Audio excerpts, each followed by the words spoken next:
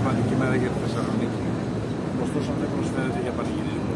Γι' αυτό γιατί το μηνό της Θεσσαλονίκης έπρεπε να είχε ολοκληρωθεί πριν από 8 χρόνια. 8 χρόνια ταλαιπωρία του Χριστό, 8 χρόνια ταλαιπωρία των Θεών και των επισκεπτών μας. Ωστόσο, τα τελευταία χρόνια έγινε πολύ σημαντική δουλειά.